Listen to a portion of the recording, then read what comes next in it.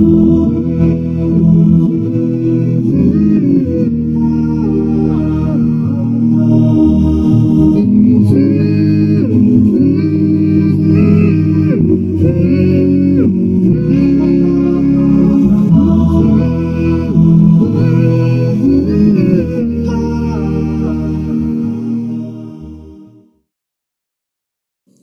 Nah, al jamaah dalam perkara al-wa'id, ancaman itu berada di antara wa'id, antara murjiah dan wa'idiyah. Wa'idiyah ini yang mereka lebih mengutamakan yang ancaman gitu ya.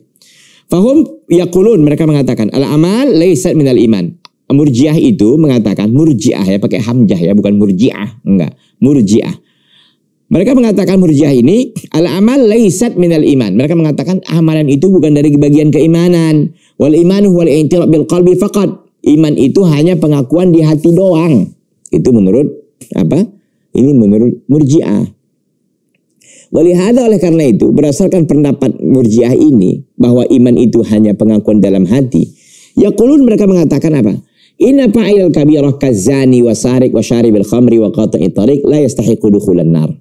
Wala dukhulan mu'abbadan wala muaqqatan fala yadurru ma'al iman maksiyatun mahma kanat saghiratan aw kabir am kabiratan idza lam tasil ila hadil kufri oleh karena itu mereka mengatakan bahwa pelaku dosa besar seperti penzina, sarik, pencuri, syaribil khamri, peminum khamar dan qati tarik yaitu pembegal ya. Qati tarik perampas di jalan, pembegal gitu ya. La yastahiqu dukhulan nar. Mereka tidak berhak untuk masuk neraka. La dukhul mu'abbadan wala mu'aqqatan. Tidak mereka berhak masuk neraka baik secara uh, selama-lamanya maupun secara mu'aqqat sementara enggak.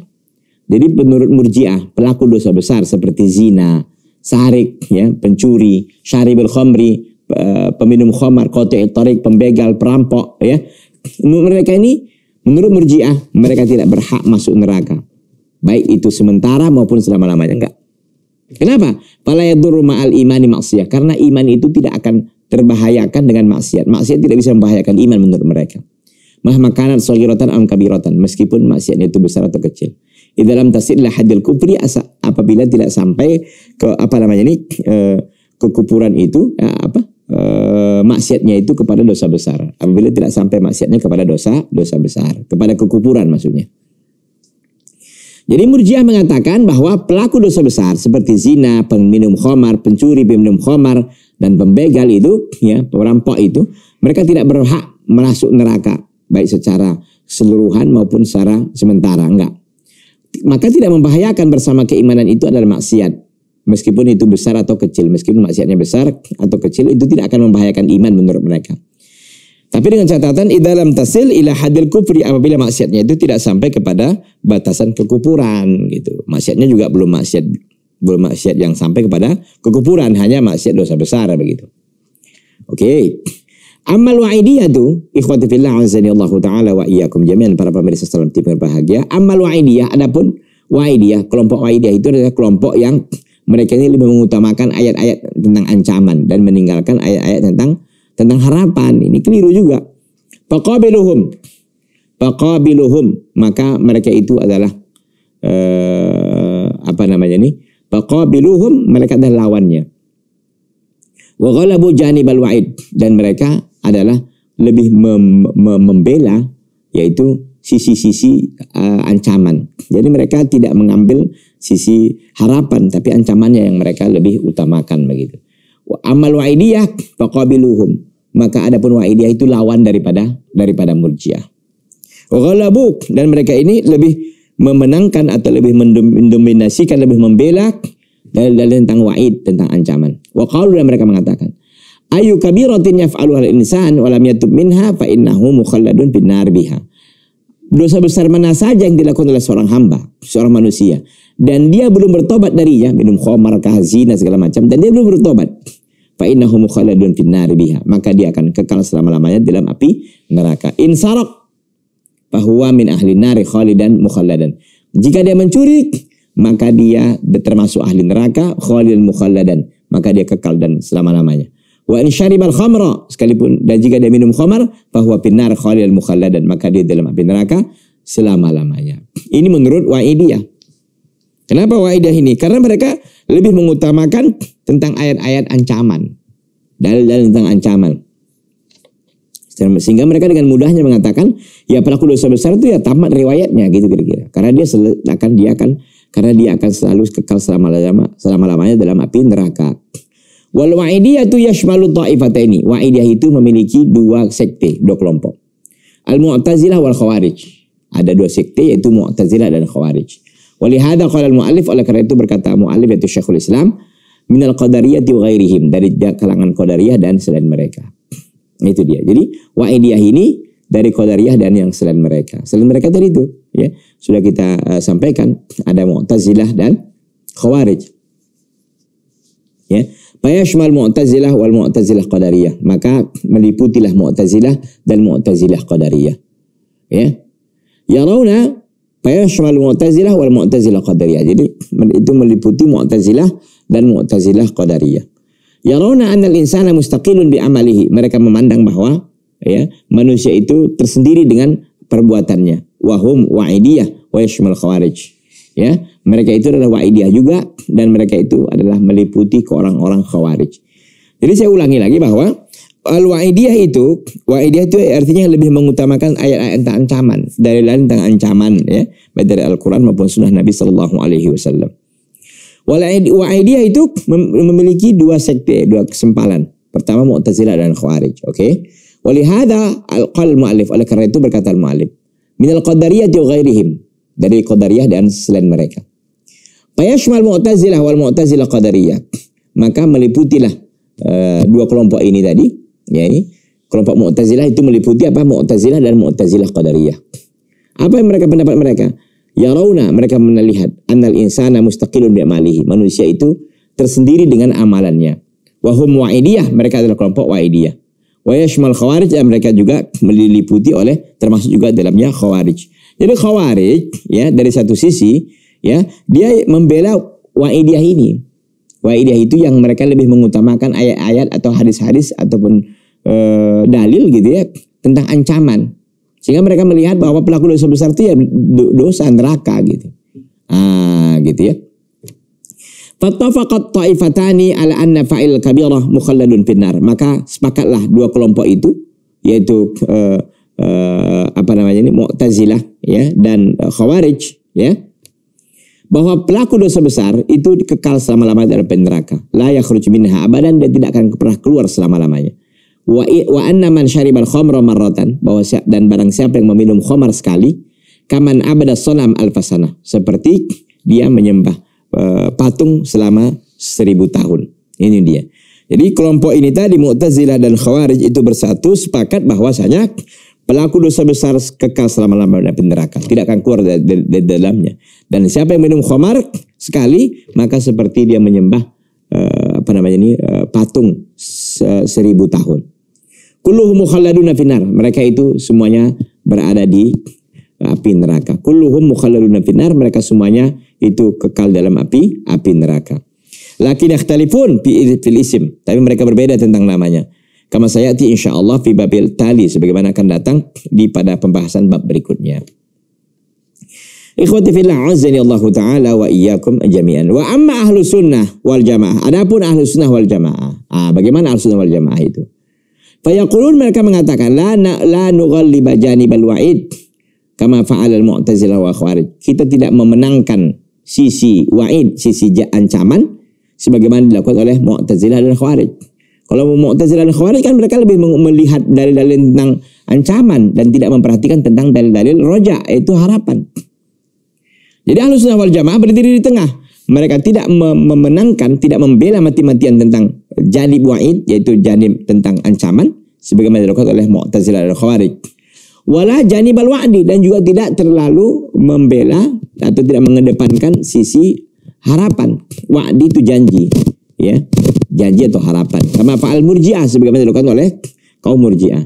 Wa naqulu dan kita mengatakan fa'ilul kabirah mustahiqul lil adab. Kita mengatakan harus wal jamaah bahwa Pelaku dosa besar itu berhak untuk diadab. Wa in udziba la yakhludu finnar. Kalau seandainya dia di, di memang betul di di, di di di apa namanya ini? di dihukum begitu kan? Dia tidak akan tidak akan kekal di dalam api api neraka. Jadi sebagaimana disampaikan tadi bahwa Ahlus Sunnah wal Jamaah mereka tidak mendominasikan tentang ayat-ayat ancaman sebagaimana dilakukan oleh Mu'tazilah dan Khawarij.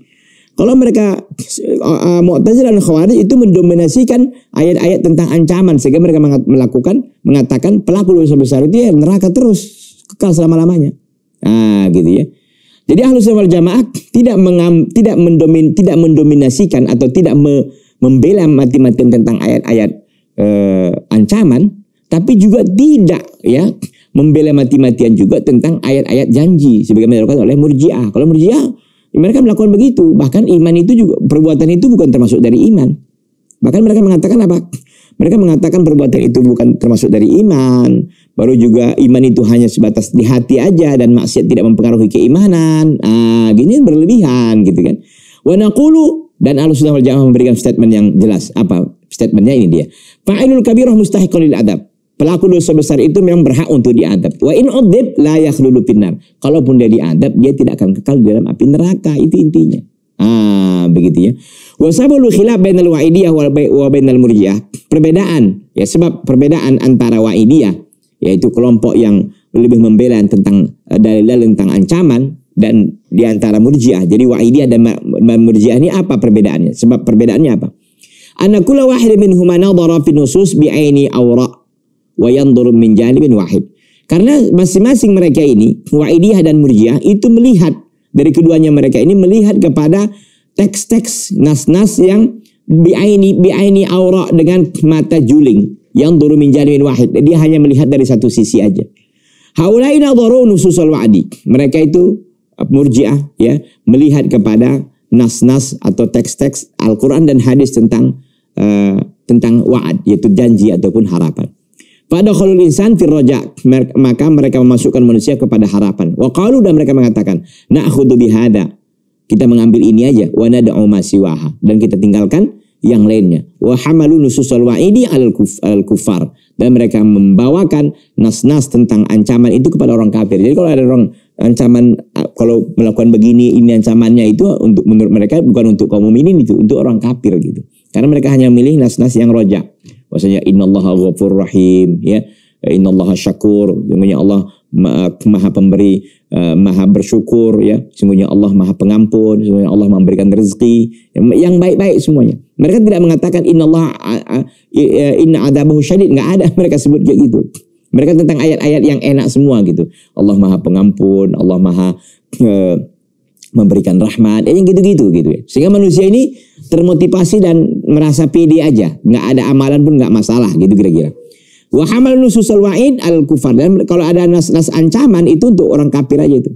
Wal wa'idiyah bil aks sementara wa'idiyah yang mereka memberikan pada nas-nas ancaman itu sebaliknya. Nadharu ila nususul wa'id fa akhadhu biha wa ghafalu min nususul wa'id. Mereka hanya mengutamakan tentang teks-teks ancaman dan mereka mengambilnya dan mereka lalai tentang teks-teks tentang uh, apa namanya ini tentang harapan. Walihada ikhtala tawazunuhum lamma nadharu min janibin wahid. Oleh karena itu cacatlah uh, keseimbangan mereka manakala mereka melihat hanya dari satu sisi. Jadi bagaimana tentang al-sunnah? Al-sunnah wal jamaah mengambil ini dan mengambil itu. Al-sunnah wal jamaah dikatakan akhadu bihada wa hada. Mereka mengambil dari satu sisi dan sisi yang lain. Artinya bahwa mereka tahu di sana ada nas-nas dalil-dalil tentang ancaman, satu sisi juga ada dalil-dalil tentang harapan. Mereka mengatakan bahwa dalil-dalil ancaman, iya. Maka kita terapkan bahwa siapa yang pelaku dosa besar, maka dia terancam api neraka. Tapi tidak kekal di dalamnya. Jadi mereka mengambil secara secara bijaksana. Tidak terlalu berlebihan dan tidak terlalu ekstrim. Begitulah kedudukan ahlus wal jamaah yang selalu berada di tengah dalam perbuatan tentang al-wa'id yaitu ancaman.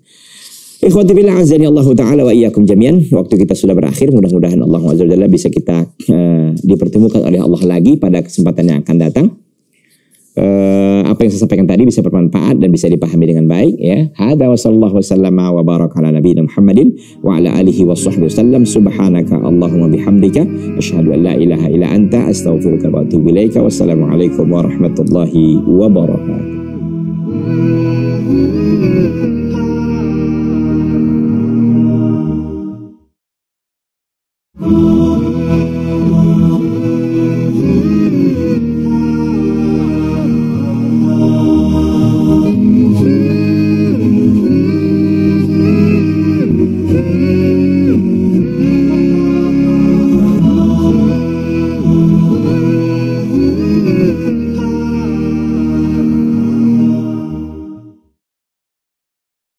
Ikhwati fillah azani Allah taala wa iyyakum jami'an. Jadi tegas ya di sini bahwa memang Al-Qur'an itu bukan makhluk tapi dia adalah kalam Allah. Dalilnya apa?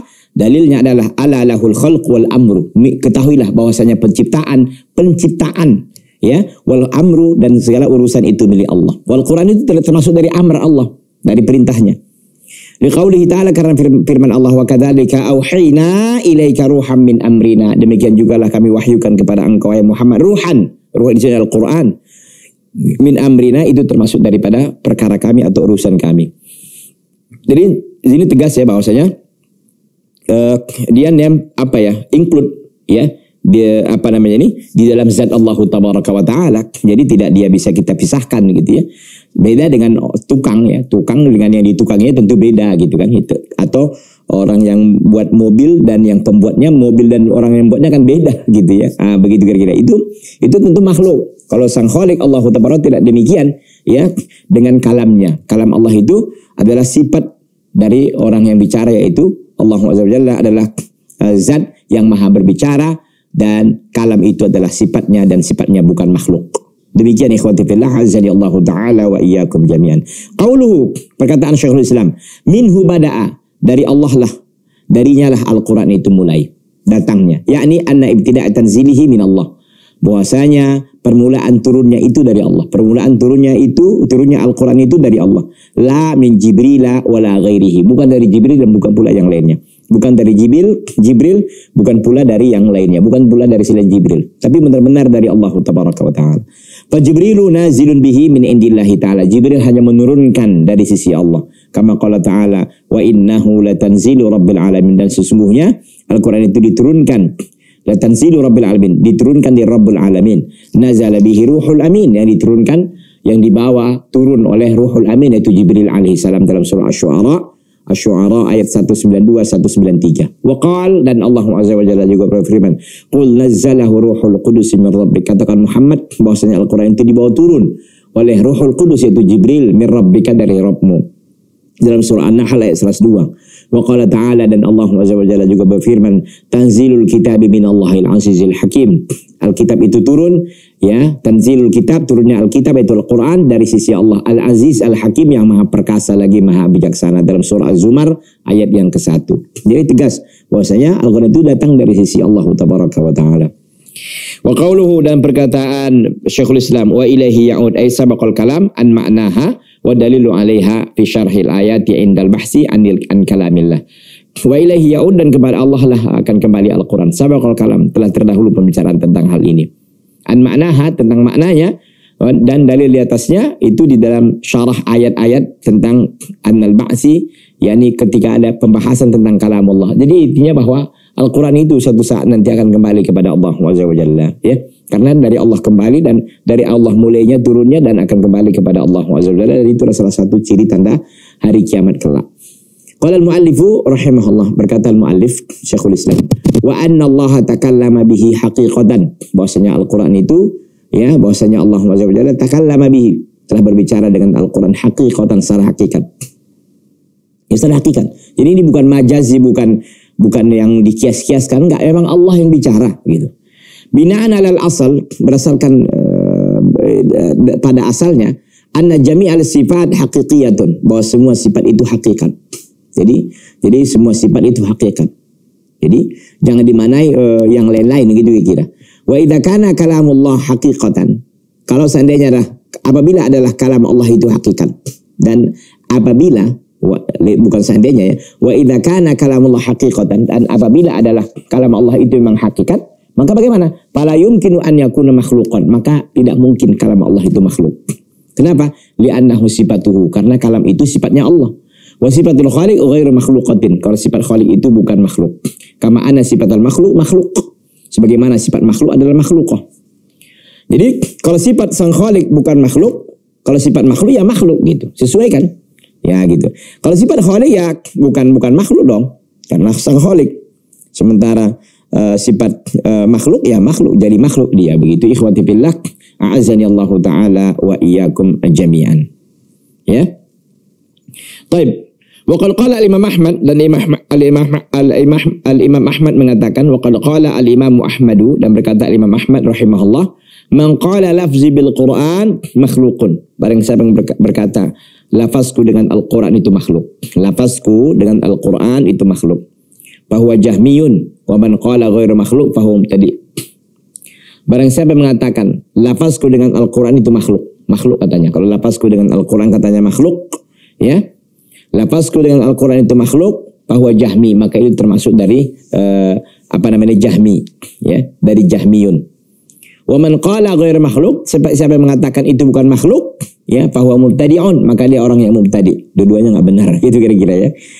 ya, ini diriwayatkan oleh Ab, Abdullah bin, ibnu Imam Ahmad, anaknya namanya Abdullah dalam kitabnya As-Sunnah dan diriwayatkan juga oleh Khalal Aydan fi kitab Sunnah sebagaimana dalam kitab Dar'un Ta'arud Al-Aql wa Naql Ibnu Taimiyah. Jadi ini juga dinukil oleh Ibnu Taimiyah dalam kitabnya Dar'u Ta'arudin Al-Aqli wa Naqli menolak pertentangan antara akal dan antara akal dan wahyu ya Perkataan Imam Ahmad ini di, dicatat ya di beberapa kitab, di antaranya kitab uh, Abdullah bin Imam Ahmad dalam kitabnya As-Sunnah, juga uh, Al-Khalal dalam kitabnya As-Sunnah juga, kemudian Syekhul Islam dalam kitabnya Darul Mafasid, Darul Ta'arud, ya, Darul Ta'arudil Aqli wa Naqli uh, di dalam kitab Ibnu Taimiyah rahimahullah.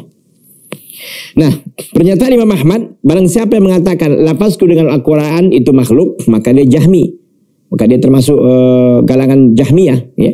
Dan barang siapa yang mengatakan ghairu makhluk lafzi bil Quran ghairu makhluk gitu kan. Lafazku dengan Al-Quran ghairu makhluk maka dia mubtadi. Dua-duanya nggak benar gitu. Bagaimana kita lihat penjelasan Syekhul uh, Muhammad bin Shalih Utsaimin untuk menguraikan pernyataan Imam Ahmad ini. Kita lihat. Panakulu maka kita katakan lafzu yutlaqu ala makna ya ini. Lafaz itu diitlakkan kepada dua makna lapas kalau ada satu lapas ya satu kata gitu kan itu bisa dimutlakkan kepada dua makna. Ada masdar alladhi huwa fi'lul fa'il. Pertama dimutlakkan makna yang pertama kepada masdar yang dia itu merupakan fi'lul fa'il perbuatan dari orang yang melakukan.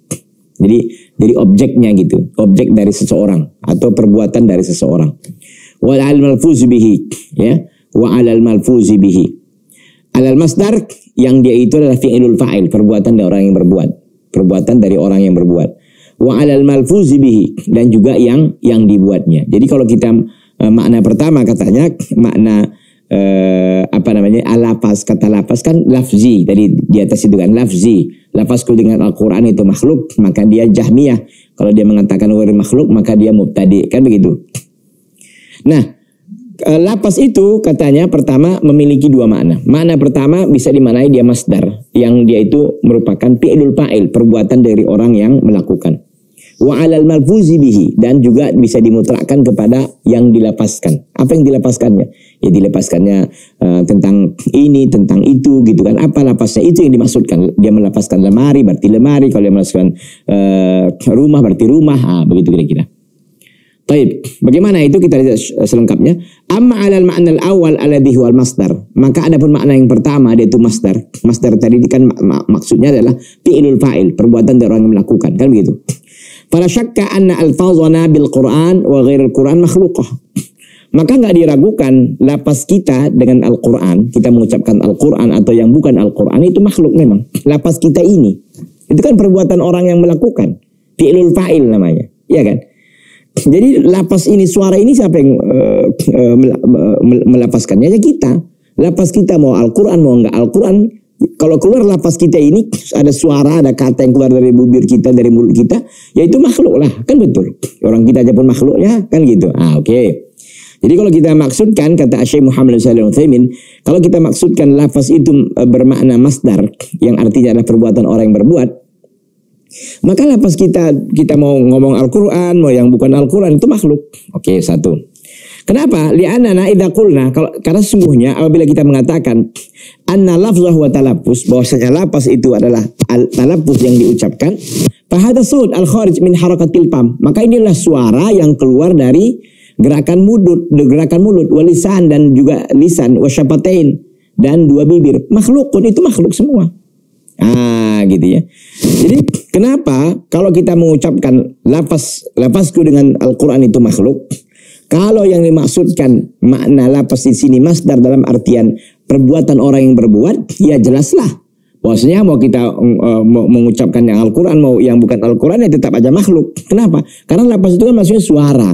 suara yang keluar dari gerakan karena ada gerakan mulut dan juga ada gerakan lisan dan dua bibir dan itu makhluk lah jelas ah oke okay.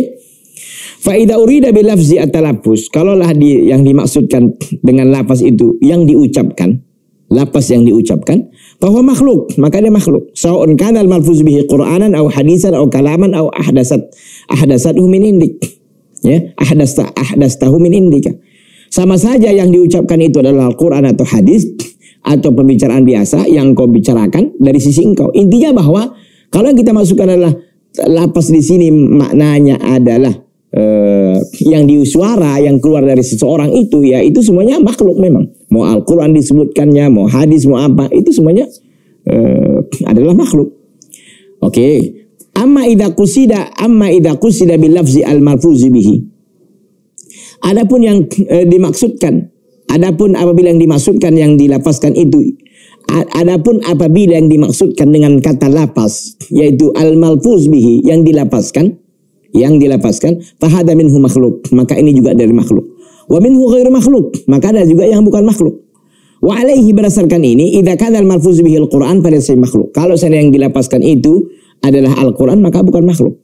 Ya inilah hada tafsilul qaul fi hadil masalah. Inilah penjelasan dalam uh, pembicaraan ini. Jadi Syekh ingin menyampaikan begini, kalau yang dilapaskan itu, kalau yang dilapaskan itu maksudnya adalah semua yang keluar ya dari mulut seseorang itu, ya suaranya itu ya, suaranya itu gitu kan.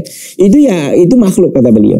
Tetapi kalau saya ada yang dimaksudkan ida kusida yang dikatakan oleh Imam Ahmad dari lafzi maksudnya al-malfuz ya yang diucapkan ya yang diucapkan itu maka ada yang makhluk ada yang nggak makhluk tergantung apa yang diucapkannya gitu. Kalau yang kita masukkan e, suara daripada e, seseorang itu gerakan mulutnya itu ya makhluk. Tapi kalau saya yang diucapkan itu loh yang diucapkannya itu apa gitu loh. Bukan masalah suara sekarang yang diucapkannya itu. Yang diucapkan itu ada yang makhluk ada yang nggak makhluk. Kalau Al-Quran diucapkannya maka tidak makhluk. Ah gitu Asyik memahami pernyataan uh, Imam Ahmad tadi. Jadi kalau Imam Ahmad mengatakan lafzi bil Quran makhluk bahwa jahmi ya wa man qala ghairu makhluk bahwa muntadi siapa yang mengatakan lafazku dengan Al-Quran adalah makhluk maka dia jahmiyah. Tapi barang siapa yang mengatakan ghairu makhluk maka dia mubtadi. Dan bid'ah enggak ada sahabat belakang melakukan kayak gini. Kalau dia mengatakan ghairu makhluk, kalau dia mengatakan makhluk berarti dia jahmiyah. Jahmiyah mengatakan memang Al-Quran itu sama seperti Mu'tazilah juga, Al-Quran itu makhluk. Bukan kalam Allah. Jadi benar adalah Al-Quran kalamullah.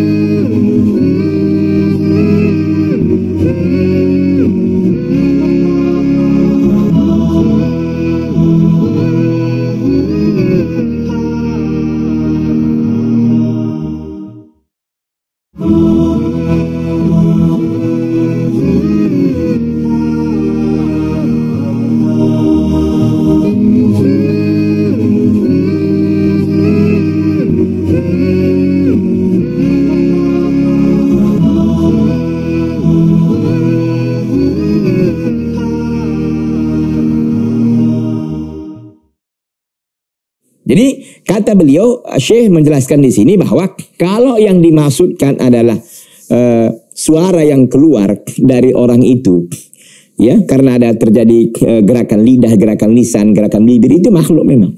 Tapi kalau yang dimaksudkan adalah yang diucapkan, ah, objeknya itu yang diucapkan itu ada yang makhluk, ada yang enggak makhluk, tergantung apa yang diucapkannya. Kalau di Al-Quran yang diucapkannya maka jadilah dia bukan makhluk. Kalau seandainya bukan Al-Quran ya bisa jadi itu makhluk. Ikhwati fillah. A'azani Allah Ta'ala uh, wa iyyakum jami'an uh, para pemirsa Salam TV yang berbahagia. Lakin Imam Ahmad qala Lakin Imam Ahmad rahimahullah qala man qala lafzi bil Quran makhluk fahuwa jahmi qala dzalika li ahadi li ahadi ihtimalaini. Ya. Uh, Imam Ahmad rahimahullah mengatakan hal itu lafazku dengan Al-Quran itu makhluk maka dia jahmiyah uh, Ibnu Utsaimin mengatakan qala dzalika li, li ihda ihtimalaini. Beliau li ahada ihtimalaini. Beliau mengucapkan itu karena ada dua kemungkinan. Li ahadi ihtimalaini karena karena adalah salah, karena ada salah satu dua kemungkinan yang ada. Imma kemungkinan yang pertama imma anna hadzal qaula min syair jahmiyah. Bisa jadi uh, pernyataan ini adalah bentuk daripada syiarnya, bentuk daripada syiar-syiar Jahmiyah. Ka'annal Imam Ahmad ya yaqul sepertinya Imam Ahmad mengatakan, "Idza sami'ta rajula yaqul lafzi bil Qur'an makhluk fa'lam annahu Jahmi." Kalau ada yang mengatakan apabila sepertinya Imam Ahmad ingin mengatakan bahwa kalau ada yang mengatakan ada ada engkau seorang ada engkau mendengar seorang laki-laki, jika engkau mendengar ada seorang laki-laki yang mengatakan lafazku dengan Al-Qur'an itu makhluk, fa'lam anahu jahmi, ketahuilah bahwa dia adalah seorang jahmiyah. Ya, itu dia. Jadi Imam Ahmad mengatakan lafzi bil Quran makhluk bahwa jahmi itu kemungkinan ada dua kemungkinan ternyata. Kemungkinan kemungkinan pertama kalau memang dia ini orang ini berasal dari uh, kelompok Jahmiyah. Karena orang Jahmiyah mengatakan Al-Quran itu makhluk. Oke, satu. Yang kemungkinan kedua, ibu wa imma an yakuna dzalika hina yuridul lafzi al malfuz bihi wa hada aqrab. Dan bisa jadi yang dimaksud yang dan bisa jadi ketika ada orang berbicara dan bisa jadi an yakuna bahwasanya ketika orang itu ingin bicara dengan satu lapas al malfuz bihi yang dimaksudkan adalah yang diucapkannya itu wahada aqrab dan ini yang paling dekat. Artinya Bukan yang pertama tadi yang diinginkan oleh Imam Ahmad. Yang diinginkan oleh Imam Ahmad adalah ingin membedakan. Kalau yang dimasukkan lafazku dengan Al-Quran itu makhluk maksudnya adalah suaranya. Suaranya, suaranya itu ya makhluk. Tapi yang diucapkan itu kalau Al-Qurannya bukan bukan makhluk. Ah gitu. Itu yang dimaksudkan di sini. Lianna Imam Ahmad nafsuhu fassarahu. Karena Imam Ahmad sendiri juga menjelaskannya. Ay, bil Quran makhluk yuridil Quran fahuwa jahmi. Maka barang siapa yang maksudkan lafazku dengan Al-Quran itu makhluk. Maksudnya adalah Al-Quran. Jadi Al-Quran itu ya bahwa Jahmi bukan suaranya tapi Al-Qur'annya gitu maka ini adalah Jahmiyah kalau mengatakan dia lafazku dengan Al-Qur'an itu makhluk maksudnya bukan suara dia tapi Al-Qur'annya itu gitu kan maka itu Jahmiyah wahina idin oleh karena itu yattadihu makna qawlihi maka ketika itu jelaslah makna perkataan uh, Imam Ahmad Barang siapa yang mengatakan lafzi bil Quran makhluk, lafazku dengan Al-Quran itu makhluk, fahuwa jahmi li'annahu aradal malfuz bihi karena yang diinginkan itu yang diucapkan. Objek yang diucapkan gitu ya. Oke? Okay? Wala syakka anna alladhi yuridu bil lafzi huna al malfuz bihi fahuwa jahmi wa amman qala ghairu makhluk fa Imam Ahmad yaqul mubtadi li'anna hadha ma'uhu hidayah salaf wa man kanu yaquluna misla hadzal qaul yaquluna al-Quran kalamullahi faqat. Dan tidak diragukan lagi bahwa e, orang yang menghendaki lafaz di sini artinya yang diucapkan maka dia itu jahmi. Ya karena yang dimaksudkan orang jahmiyah biasanya lafzi bil Quran maksudnya Al-Quran itu sendiri bukan suara dia gitu kan. Maka ini tentu e, adalah e, kebatilan ya karena orang jahmiyah mengatakan memang Al-Quran itu bukan makhluk. Al-Quran itu adalah makhluk. Adapun orang yang mengatakan ghairu makhluk, kan benar sebenarnya Al-Quran bukan makhluk, betul. Tapi Imam Ahmad mengatakan itu mubtadi. Kenapa? Karena tidak dikenal, tidak ada pernah dikenal kaum salaf mengatakan Al-Quran itu ghairu makhluk. Cukup hanya mereka mengatakan wa makanu yaqulu mislah hada al-qaula. Mereka enggak mengatakan hal itu. Cukup mereka hanya mengatakan Al-Quran kalamullah. Enggak ada tambah-tambahnya makhluk ghairu makhluk enggak gitu. Cukup Al-Quran kalamullah ghairu makhluk enggak begitu. Al-Quranu kalamullahi faqat. Udah selesai. Itu dia. Jadi sekali lagi saya sampaikan perlu dibedakan kalau ada orang mengatakan pernyataan Imam Ahmad ini dinukil dalam kitab sunnah uh, oleh anaknya kemudian juga di dalam uh, kitab uh, Darul Ta'arudil Aqli wa Naqli oleh Imam, Imam Ibnu Taimiyah rahimahullah. Kalau dimaksudkan adalah suaranya yang keluar itu maka itu makhluk. Tapi kalau saya yang diucapkan yang itu itu ada yang makhluk, ada yang enggak makhluk kan begitu. Kalau ada yang ucapkan itu adalah Quran maka bukan yang bukan makhluk, tapi dia adalah kalamullah tabaraka wa ta'ala. Qauluhu pernyataan Syekhul Islam wa anna hadzal Qur'an alladzi unzila ala Muhammadin sallallahu alaihi wasallam huwa kalamullah haqiqatan. Dan bahwasanya Al-Qur'an yang diturunkan kepada Nabi Muhammad sallallahu alaihi wasallam dia adalah kalamullah haqiqatan. Dia adalah perkataan Allah secara hakikat. La kalama ghairihi bukan perkataan yang lainnya.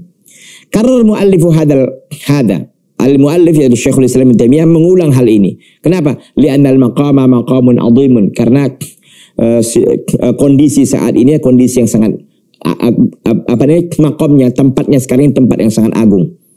Fa inna hadil masalah hasala biha ala ulama muslimina minal mihan. Karena memang dalam perkara ini banyak sekali terjadi eh, apa namanya ini kepada kaum muslimin itu ujian yang sangat berat wahwa maklumun dan itu sangat nyata.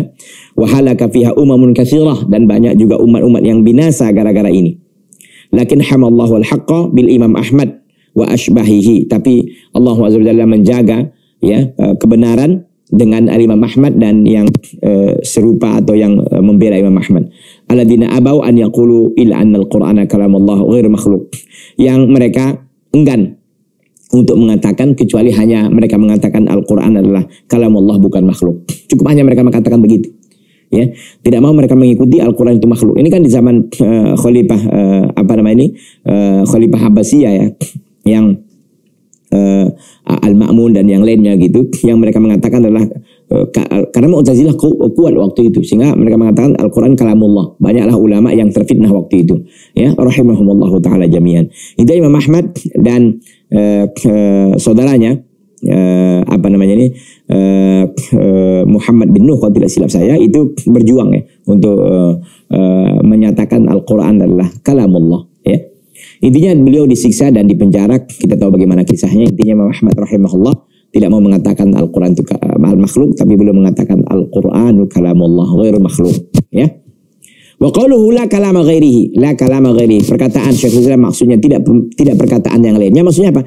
Khilafan liman qala innal Qur'ana min kalami Jibril. Itu ada perbedaan dengan orang yang mengatakan Al-Quran itu dari perkataan Jibril. Alhamahullahu iyahu yang Allah ilhamkan kepada Jibril. Au min kalam Muhammad atau itu perkataan dari Muhammad. Wa ma au ma asbaha atau yang serupa dengan hal itu.